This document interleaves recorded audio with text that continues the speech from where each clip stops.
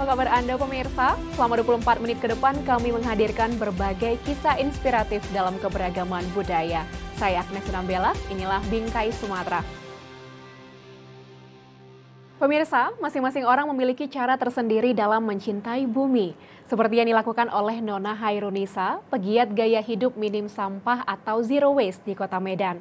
Menerapkan gaya hidup minim sampah sudah menjadi pilihannya dalam melakukan kegiatan sehari-hari. Lalu seperti apa kisahnya? Berikut liputan selengkapnya untuk Anda.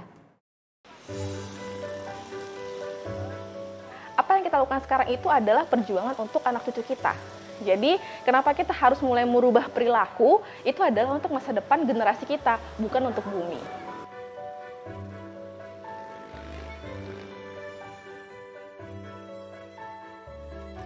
Sejak kecil, kehidupan Nona Kairunisa sudah lekat dengan lingkungan.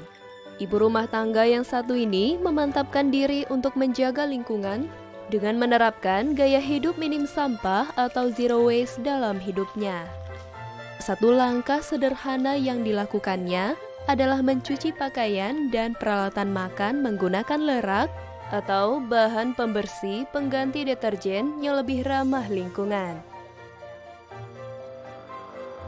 Hairunisa memulai gaya hidup ini karena terpapar greenwashing dari media sosial di awal tahun 2018.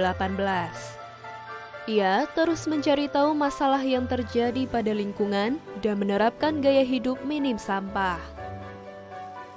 Langkah-langkah lain yang ia lakukan adalah menggunakan tas belanja ketika berbelanja dan membawa botol minum sendiri saat membeli minuman. Ia sadar kebiasaannya ini belum tentu diterima oleh banyak orang. Dulu, ia sempat ditolak oleh merchant minuman karena berbelanja dengan botol minum sendiri. Namun, karena gerakan yang ia lakukan bersama teman-teman Zero Waste Indonesia, akhirnya merchant minuman yang tadinya menolak akhirnya mengizinkannya berbelanja dengan botol minuman sendiri dan memberikan potongan harga. Ya, bagi Hairunisa, kehadiran orang-orang yang satu hati sangat berarti dalam menjaga semangat zero waste. Jadi saya coba nih cari teman-teman yang mungkin juga mau menjalani gaya hidup zero waste. Alhamdulillahnya saya pada awal tahun 2020 ketemu dengan Roda Hijau, lalu bergabung ternyata punya visi, frekuensi nih kita yang sama. Akhirnya kita, oh ternyata uh, ada teman seneng gitu kan, jadi ada yang membarengi, membersamai saya untuk tetap konsisten menjalani uh, gaya hidup zero waste ini. Tidak berhenti sampai di situ, Hairunisa juga lebih memilih menggunakan kendaraan umum saat berpergian. Hal ini dilakukannya untuk mengurangi banyaknya emisi karbon yang dilepaskan karena jumlah dan penggunaan kendaraan yang masif di jalan. Ia pun turut menularkan virus mencintai bumi kepada halayak. Seperti kampanye penggunaan tas belanja untuk mengurangi plastik, sikat gigi bambu untuk mengurangi limbah sikat gigi plastik, gambas sebagai pengganti sabut cuci dari plastik, hingga penggunaan lerak sebagai pengganti deterjen. Nilawati adalah salah satu orang yang tertarik akan aksi yang dilakukan Hairunisa. Ia berharap bahan-bahan pendukung aksi zero waste mudah didapat sehingga kebiasaan baik ini bisa diaplikasikan.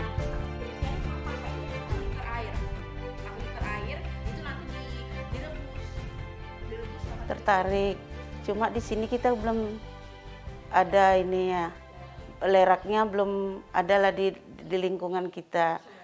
Semoga lerak itu bisa sampai ke lingkungan kita sehingga kita bisa meninggalkan deterjen.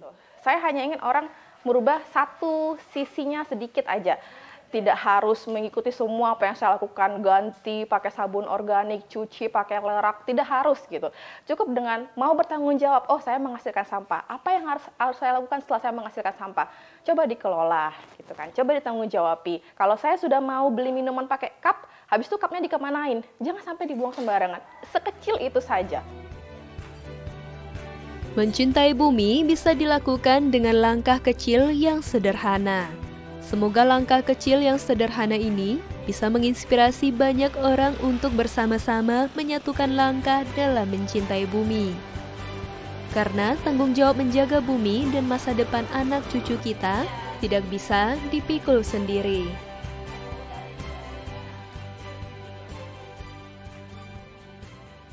Setiap tahun, komunitas Earth Hour Medan melakukan kampanye hemat energi di minggu terakhir bulan Maret. Kegiatan ini bertujuan meningkatkan kesadaran dan tanggung jawab manusia akan perubahan iklim bumi yang semakin buruk, yang berdampak pada keberlangsungan hidup manusia dan makhluk hidup lainnya. Seperti apa kegiatan mereka pemirsa? Berikut liputan selengkapnya. Kehidupan manusia hampir tidak bisa terlepas dari listrik. Namun, pernahkah Anda berpikir untuk mematikan listrik atau perangkat elektronik Anda sejenak?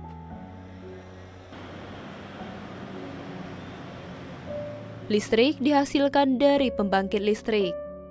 Sebagian pembangkit listrik masih menggunakan bahan bakar berupa sumber daya alam yang tidak terbarukan, seperti batu bara dan minyak bumi. Dan dalam prosesnya, pembangkit listrik juga menghasilkan emisi karbon. Tingginya penggunaan listrik dapat melepaskan banyak emisi karbon ke udara. Otomatis akan mendorong pemanasan global yang mempengaruhi iklim dan keanekaragaman hayati di muka bumi.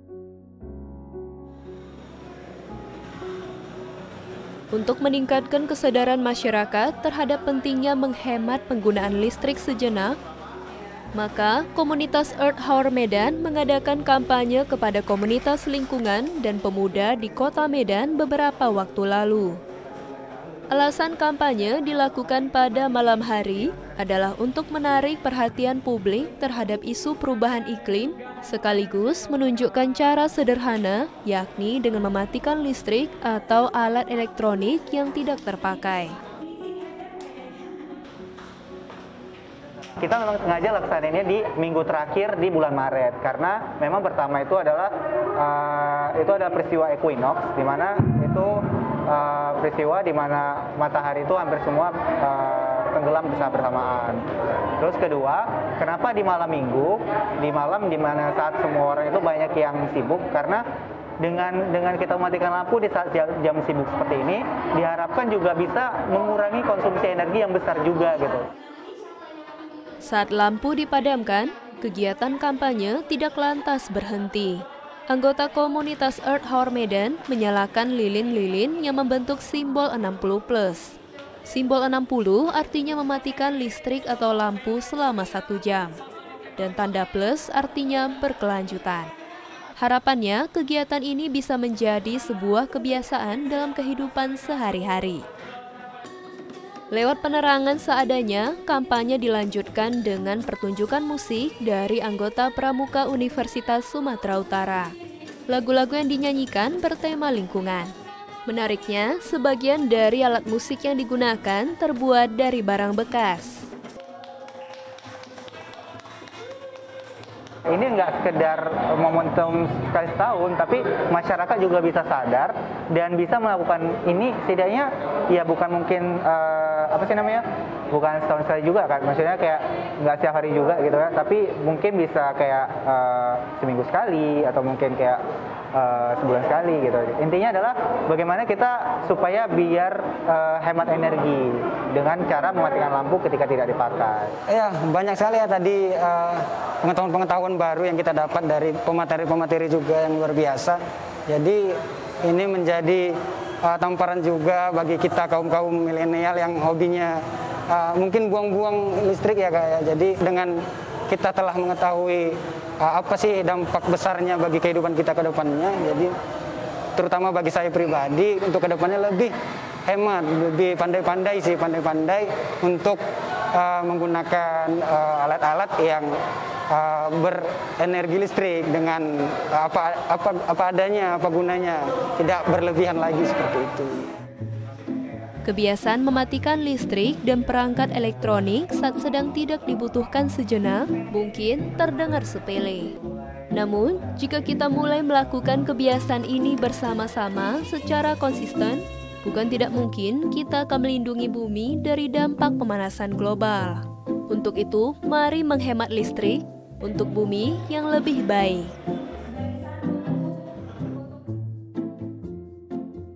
Jika dikelola dengan baik, sampah bisa menjadi berkah untuk semua. Seperti halnya di kota Banda Aceh, kota ini tidak menampung arus sampah yang masuk di perkotaan.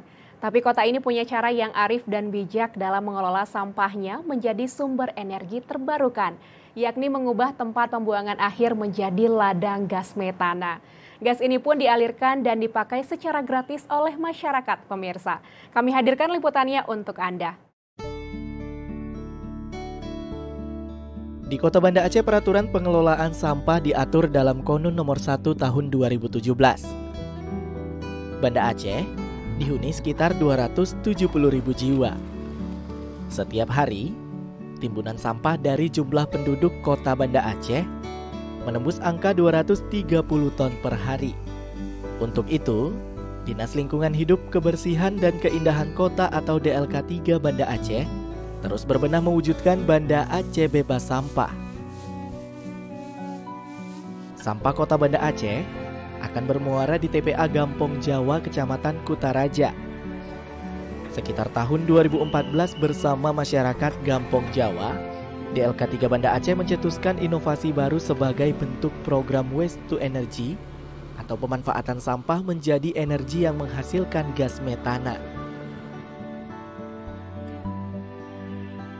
Itu di 2016 itu kita sudah mulai coba-coba. Sudah mulai merintis berarti sudah ya? mulai merintis dan kita alirkan permanen itu di awal 2017. Nah, jadi semua yang masyarakat terima dari instalasi sampai kompor satu mata tadi itu kita berikan cuma-cuma tanpa ada pengutipan biaya uh, operasional, maintenance maupun iuran bulanan. Wah, jadi memang sangat ini semuanya gratis. Gratis, gratis. Ini oh. merupakan kompensasi kita kepada desa-desa terdampak yang berada di sekitar uh, TPA. Ke, TPA tersebut. Perbedaannya adalah gas metan ini dia murni gas, hmm. gas yang tidak ada wujud ya. Nah, hmm. Jadi ketika dia uh, kita alirkan, dia dengan gampang langsung menguap ke udara. TPA Gampong Jawa beroperasi dengan metode sanitary landfill. Sebuah metode pengurungan sampah ke dalam tanah dengan menyebarkan sampah secara berlapis-lapis pada sebuah lahan yang telah disiapkan. Lahan ini kemudian dipadatkan dengan alat berat, lalu ditimbun dengan tanah penutup pada akhir TPA beroperasi. Keunggulan sanitary landfill ini mampu mengurangi bau sampah dan menangkap gas. Nah, untuk menangkap gas ini, Metode yang paling umum dilakukan yakni lewat penggalian sumur ke dalam timbunan sampah. Sumur ini selanjutnya dibantu dengan jaringan instalasi pipa vertikal dan horizontal. Pipa vertikal ditanam pada kedalaman 8 meter, sedangkan pipa horizontal di kedalaman 4 meter, mengalirkan gas metana ke penampungan. Di sini ada 23 titik sumber gas metana yang dipasang pipa secara teliti dan bertahap agar gas metana tersalur sempurna. Jadi metan ini kan terbentuk dalam sampah. Dalam sampah ini terkandung air. Okay. Nah, dalam posisi kandungan air inilah terjadi pembentukan dari mikroba-mikroba itu sehingga terbentuk dia metan. Nah, sehingga dia terjadilah yang biogas. Karena kan dalam biogas ini ada empat unsur dia. Okay. Ada air, bantuan penguapan, ada uh, udara, bantuan penguapan, kemudian ada metannya unsur unsur unsur memang unsur ininya, unsur untuk gasnya. Kemudian ada sulfurnya. Tekanan gas metana yang dihasilkan cenderung kecil. Sehingga untuk bisa disalurkan ke rumah-rumah warga sekitar, dibutuhkan bantuan satu unit kompresor. Gas ini dialirkan ke rumah warga sesuai dengan jadwal operasional petugas di TPA. Keran gas dibuka pada pukul 8 sampai 12 dan pukul 15 sampai 17.30. Di TPA Gampong Jawa, khusus sampah plastik kresek bisa diolah jadi bahan bakar. Lewat proses pirolisis atau pembakaran selama 6 jam, sekitar 20 kg kantong plastik mampu diubah menjadi 6 liter solar. Gampong Jawa adalah desa yang berdampingan langsung dengan TPA.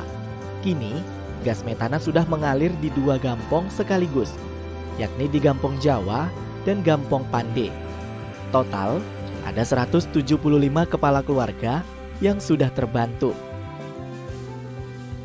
Setiap individu menghasilkan sampah, tetaplah bijak dalam menanggulanginya. Sampah akan menjadi berkah layaknya sampah di TPA Gampong Jawa yang menjadi sumber energi.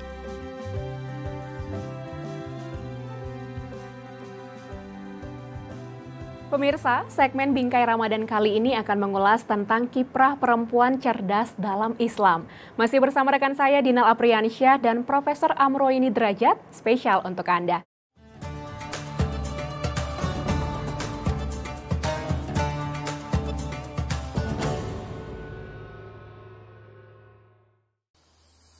Assalamualaikum warahmatullahi wabarakatuh. Halo pemirsa Bingkai Sumatera, saya Dinal Apriansyah dalam Bingkai Ramadan.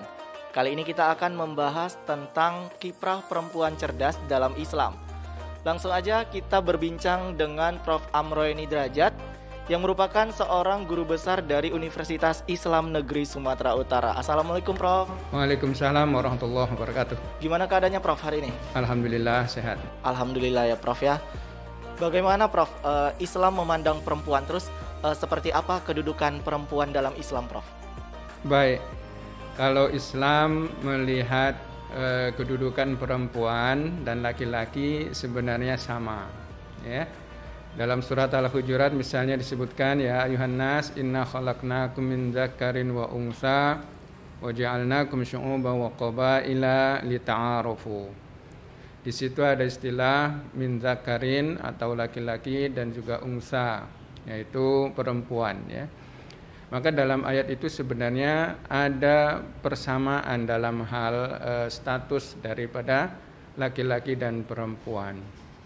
Jadi kalau melihat dari ayat itu sebenarnya baik laki-laki atau perempuan di dalam Islam memiliki kedudukan yang sama. Terus Prof, e, apakah ada batasan-batasan nih Prof? E, seorang perempuan itu menjalankan peran-perannya? Ya. Kalau dari sisi fungsinya, ya seorang e, perempuan misalnya, jadi kalau seorang perempuan satu sisi memang memiliki keutamaan, ya. Oleh karena itu di dalam sebuah hadis pun disebutkan bahwa al jannatu tahta aqdamil ummahat itu disebutkan bahwa surga itu di bawah telapak kaki ibu, ya. Kan tetapi di situ itu adalah merupakan sebuah isyarat saja bahwasanya menghormati ibu terutama ini yang memang lebih ditekankan. Dari sisi penekanan penghormatan kita terhadap uh, ibu. Uh, perempuan itu pada masa sebelum Islam itu lebih diarahkan sebagai semacam komoditi dan tidak diperhitungkan ya tapi ketika Islam datang, itulah Islam yang eh, datang dengan memuliakan seorang ibu ataupun seorang perempuan. Oleh karena itu, di dalam pendidikan Islam itu seorang ibu dianggap sebagai guru yang pertama. Ya, sebagai guru yang pertama, sebagai pendidik yang pertama, sebagai pembina yang utama di dalam keluarga. Oleh karena itu ada sabda Nabi yang mengatakan bahwa al ummu madrasatul ula ya bahwasanya ibu itu adalah sebagai sekolah pertama bagi anak-anaknya. Di sinilah sebenarnya letak pentingnya dari seorang ibu yang harus menjadi seorang pendidik, seorang pembina, dan memang yang seorang penentu arah daripada anaknya. Oleh karena itu, seorang ibu yang seperti ini sebenarnya dituntut banyak kecerdasan. Nah, tadi uh, Prof kan bilang ibu merupakan madrasah pertama dari dari anaknya di rumah ya, Prof. Mm-hmm. Tentu juga seorang ibu itu juga harus memiliki kecerdasan.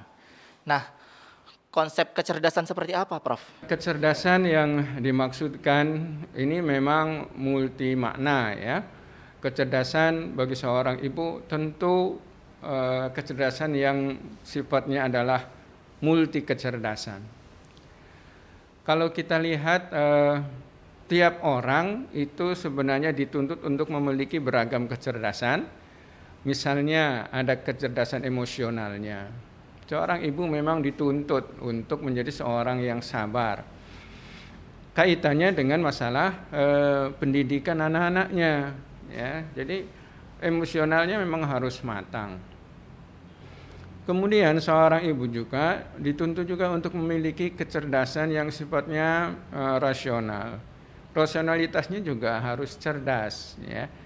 Kemudian di samping emosional ada rasional juga eh, secara sosial seorang ibu pun harus memiliki kecerdasan ini ya sosial itu adalah sangat penting sekali. Kalau tidak cerdas ini memang akan susah.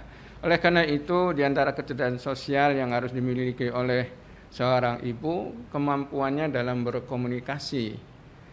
Nah, di antara berbagai macam kecerdasan itu, ada lagi satu kecerdasan yang memang justru sangat penting untuk seorang ibu, yaitu kecerdasan spiritualitas bahwasanya seorang ibu itu di samping dia memiliki kecerdasan emosional yang memang dituntut oleh uh, untuk membina anak-anak, keluarganya, juga kecerdasan yang sifatnya ruhaniah ya atau batiniah. Dan kecerdasan ini sangat terkait dengan hubungan dia dengan Allah. Dalam hal ini adalah seorang ibu yang cerdas itu, seorang ibu yang berwawasan luas ya, memiliki hubungan sosial yang luas juga dan memiliki kecerdasan yang tinggi juga. Yang terakhir ini Prof, uh, bagaimana Prof uh, perempuan itu dapat berkiprah dan bermanfaat bagi masyarakat dan keluarganya? Bagaimana uh, seorang ibu misalnya ingin me mengoptimalkan kecerdasannya sendiri, tentu ya seorang ibu pun akan tahu dengan kapasitas yang dia milikinya. Kalau menurut Islam Seorang ibu yang cerdas, yang multi kecerdasan memiliki hak untuk mengembangkan seluas-luasnya. Kalau memang dia diperlukan oleh keluarga, mainkanlah dia di dalam keluarga. Kalau dia diperlukan dalam bidang sosial, maka optimalkanlah dalam bidang sosial. Kalau memang itu perlu dalam bidang emosional, maka di situ pun juga dia harus memerankan dirinya dalam mengimplementasikan kecerdasan sosialnya atau kecerdasan emosionalnya. Wah, ternyata banyak sekali ya Prof uh, peranan dan kiprah dari perempuan untuk uh, membangun masyarakat, keluarga dan juga negara ya Prof ya. Oke, terima kasih Prof. Pemirsa, demikian tadi bincang-bincang kita bersama Prof. Amroeni Derajat. Semoga bermanfaat. Selamat menjalankan ibadah puasa. Wassalamualaikum warahmatullahi wabarakatuh. Sekian program Bingkai Sumatera, saya Agnes Nambela pamit, jaga diri Anda dengan menerapkan protokol kesehatan dan tetap semangat menyebarkan kebaikan. Sampai jumpa.